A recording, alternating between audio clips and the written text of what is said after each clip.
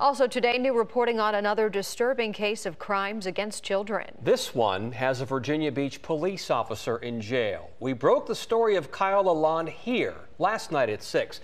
He faces a number of charges connected to child porn. And your side's Andy Fox joins us now with some disturbing new information. Andy? Tom and Lena, here's the current status of 31 year old Kyle Lalonde. He is still currently employed as a police officer with Virginia Beach, but we are told he has been relieved of his police powers as he deals with these devastating indictments. He is also in the Virginia Beach jail right now without bond.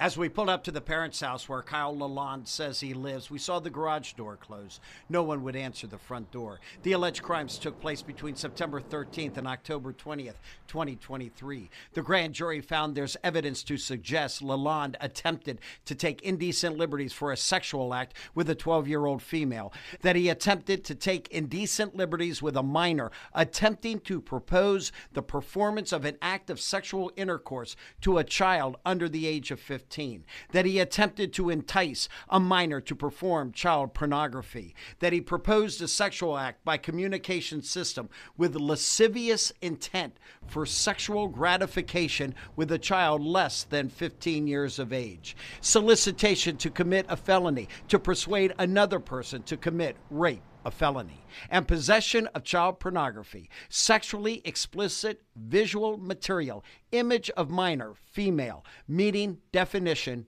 of child pornography.